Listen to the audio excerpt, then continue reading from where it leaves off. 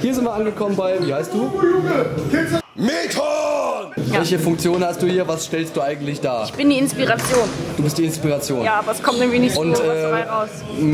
Inwiefern willst du die Künstler inspirieren? Einfach